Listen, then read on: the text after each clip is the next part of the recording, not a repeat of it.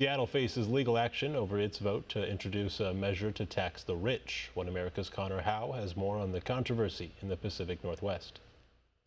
Nine in favor, none opposed. Many Seattle residents applauded the City Council's unanimous decision to impose an income tax on high earning residents. But now, city lawmakers face a major lawsuit over the controversial tax code. A conservative think tank known as the Freedom Foundation sued the city over what it's calling an assault on the law.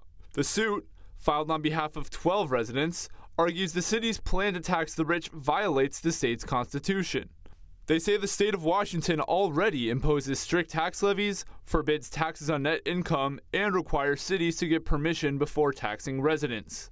Under the new legislation, those earning $250,000 or more or married couples earning twice that would be required to pay a two and a quarter percent tax on their income. The Freedom Foundation suit is one of three which have already been filed in response to the new legislation. Another group suing the city, the Opportunity for All Coalition, says the measure is misleading, claiming it will also affect middle class residents who sell their homes or businesses.